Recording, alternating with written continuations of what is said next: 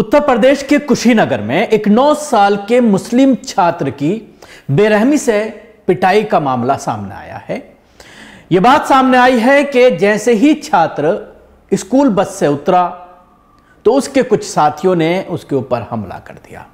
मामला कई दिन पुराना बताया जा रहा है। सुर्खियों में आने के बाद पब्लिक डोमेन में आने के बाद पुलिस ने मामला दर्ज किया और चार लोगों को इस मामले में गिरफ़्तार किया गया है। हालाँकि उसके पिता का यह आरोप है, जिसने मीडिया के सामने आकर के यह बयान दिया है कि कई दिन बीत जाने के बावजूद पुलिस मामला दर्ज करने में आनाकानी कर रही थी और किसी तरह से बाप के ऊपर यह दबाव डाला जा रहा था कि सेटलमेंट कर लें और आपस में सुलह कर लें। क्योंकि बच्चा फिर दोबारा से स्कूल जाएगा तो उसके साथ दोबारा ये घटना घट सकती है। इसलिए कोई एक्शन ना लें, लेकिन उसके बावजूद उनके पिता अडिल अटिल रहे और वो लगातार ये मांग करते रहे कि इसमें एफआईआर दर्ज की जाए और अगर दोबारा भी इस तरह की कोई घटना घटती है तो फिर वो एफआईआर दर्ज कराएँगे। बिना डरे उन्होंने जो है इस पूरे मामले को आगे बढ़ाया और फिर उसमें कामयाबी भी मिली कि उनके इस कंप्लेंट के ऊपर एफआईआर दर्ज की गई है। लेकिन सवाल कहीं ना कहीं एक बार यह भी खड़ा हो रहा है कि किन धाराओं में एफआईआर दर्ज की गई है।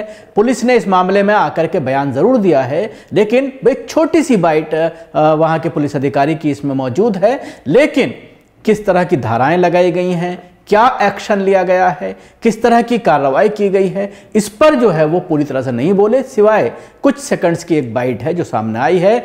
इस मामले में पहले मैं आपको लड़के के पिता की बात सुनवाना चाहूँगा, वो इस पूरे घटना को लेकर के क्या कहते हैं। जी, मामला मेरा बेटे का, वो स्कूल से आया पढ़ के। तो पंचायत भवन के पास बस छोड़ के चली गई। तब तक ये चार पाँच लड़के आए, उसको बुलाए क्या आओ तो उसमें एक उसके साथ पढ़ता था तो उससे जान पहचान था वो रुक गया। फिर उसको गाड़ी बैठाए लोग किडनेप करके लेके चले गए हैं लोग देवरिया देरबाबू सहजौली पे, एक पोखरा है वहीं पे। वहाँ पे ले जाने के बाद इसको नंगा करके बेरहमी से मारे हैं। अब बहुत क्रूरता पुरता वीडियो में है है आप देख रहे हैं। कौन से क्लास में पढ़ता है वो अभी नाइन्थ क्लास में है। हम्म, कौन कौन लोग हैं उनकी पहचान हो पाई हाँ? एक आदित्य सिंह करके है। आदित्य सिंह उर्फ़ छोटू देरबाबू सजली का है वो। एक आर्यन सिंह उर्फ़ राजा बाबू वो। घोसीपुर खोटई का है। और एक युवराज करके लड़का है।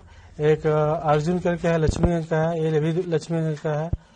और एक और मुस्लिम लड़का है उसका नाम रिजवान करके है वो भी लक्ष्मीगंज का है। बाकी लोग लक्ष्मीगंज का एक लड़का धोधरई का है। हम्म। लक्ष्मी धोधरई का प्रशासन के पास गए हैं क्या? एफ़ वगैरह दर्ज हुआ है? मैं प्रशासन के पास गया था उनको अप्लीकेशन दिया। वो लास्ट में बोले हैं कि हाँ ठीक है जाइए आपका मुकदमा लिख दे रहे हैं। रात में चढ़ जाएगा। सुबह में आप नकल ले लीजिएगा। सुबह में गया हूँ तो कुछ और मैं बोल रहा है कि नहीं दबाव के कारण से या अभी होल्ड किए हैं। फिर मेरे पास समझौते के लिए एक दो लोग आए थे लोग वो धमकी दे रहे थे कि पैसा ले लो ये कर लो नहीं तो छूट के आएगा फिर दोबारा पुनरावृत्ति करेगा दोबारा यही काम करेगा वो। क्या धमकी दे रहे थे लोग? मेरा?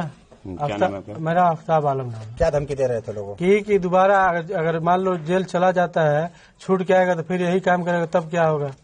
तो मैं बोला हूँ फिर भी प्रशासन है ना। मैं फिर प्रशासन के पास जाऊँगा। 27 दिसंबर को पीड़ित अफ्ताब के पिता के ज़रिए यह शिकायत दर्ज कराई, लेकिन पुलिस ने जल्द ही जो है इस पूरे मामले में एक्शन नहीं लिया।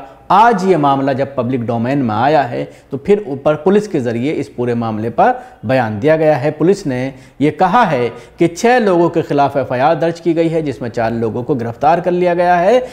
इस मामले में अपर पुलिस अधीक्षक के ज़रिए एक बाइट दी गई है, वो भी आप सुन लीजिए।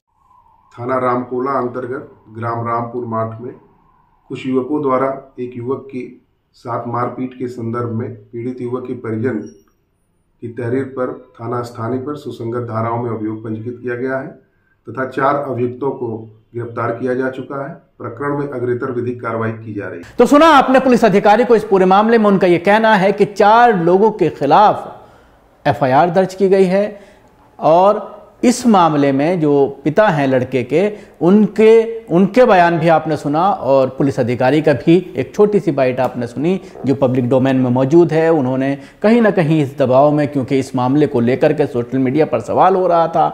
ट्विटर पर यह बात यह वीडियो जो पिटाई का है वो काफ़ी वायरल हो रहा था, क्योंकि लड़कों ने खुद ही बच्चे की पिटाई करने के बाद, छात्र की पिटाई करने के बाद इस वीडियो को सोशल मीडिया पर डाला था।